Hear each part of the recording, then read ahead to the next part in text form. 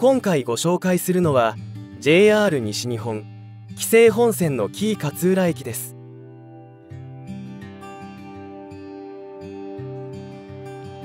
紀伊勝浦駅は千葉県にある外房線の勝浦駅と区別するため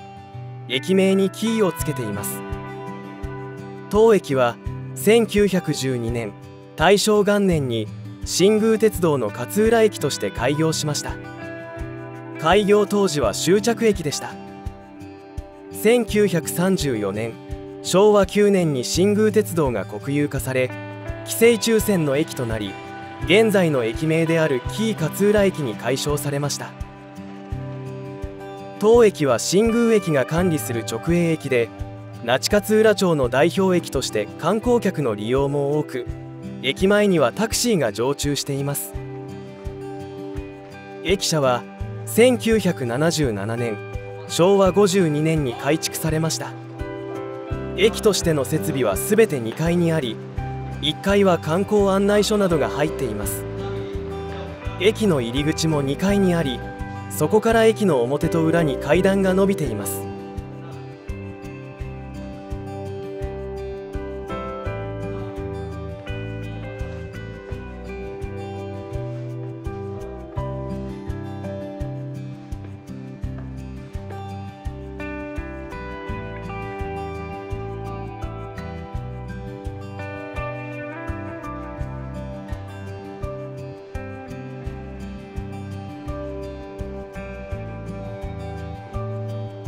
2015年平成27年にエレベーターやスロープ誘導警告ブロックなどを設置してバリアフリー化され2016年平成28年に IC カード以降下の利用が可能となりました。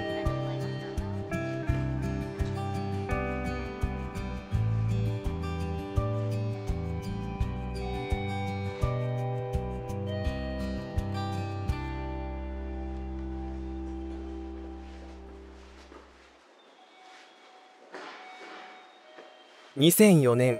平成16年に紀伊山地の霊場と三景堂がユネスコの世界遺産に登録されたことを記念して古戦橋の通路を那智大社の社殿をイメージした内装にしました。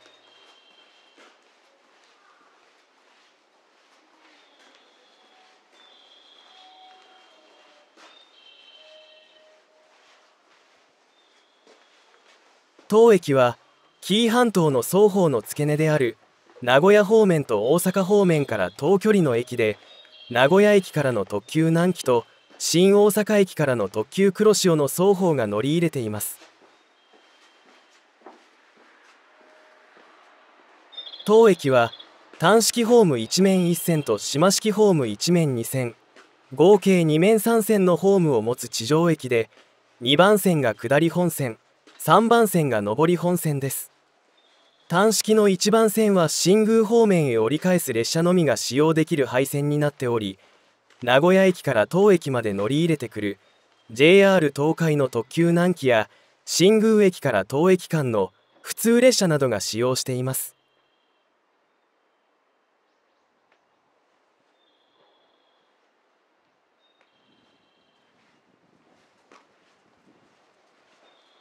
駅舎と1番線の間にはかつて港に伸びる貨物側線があり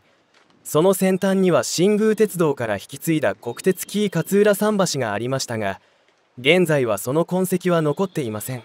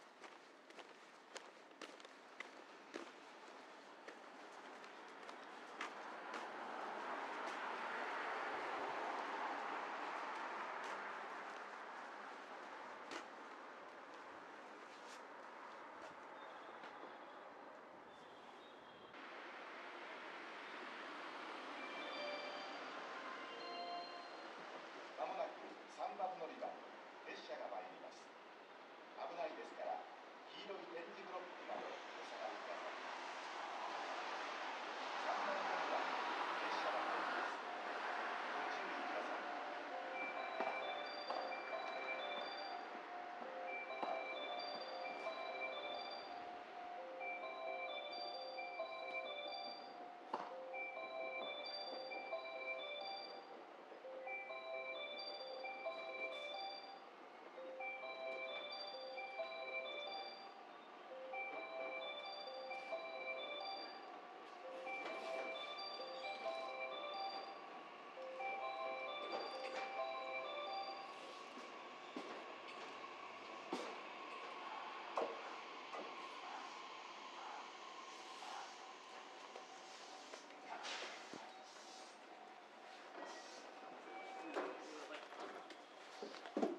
車ありがとうございました。引勝浦引勝浦です。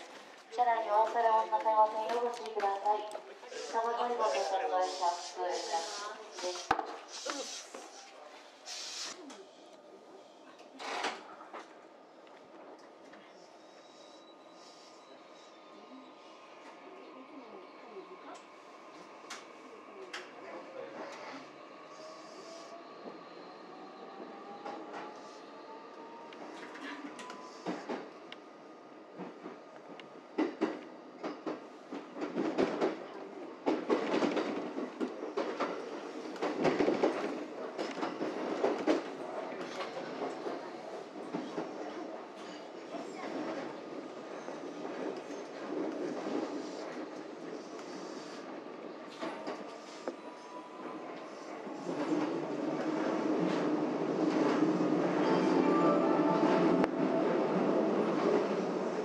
キーテンマ